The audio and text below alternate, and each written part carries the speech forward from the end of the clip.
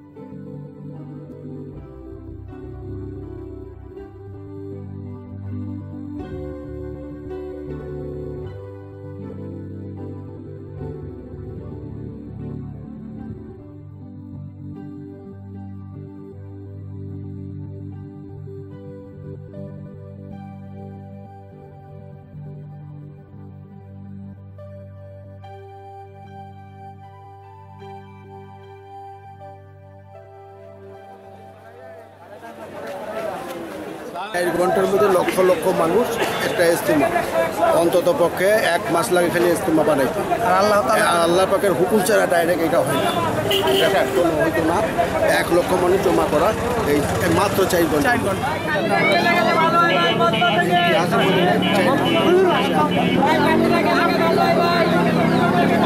আল্লাহ ছাড়া আল্লাহ ছাড়া এটা কেউ করতে পারে না।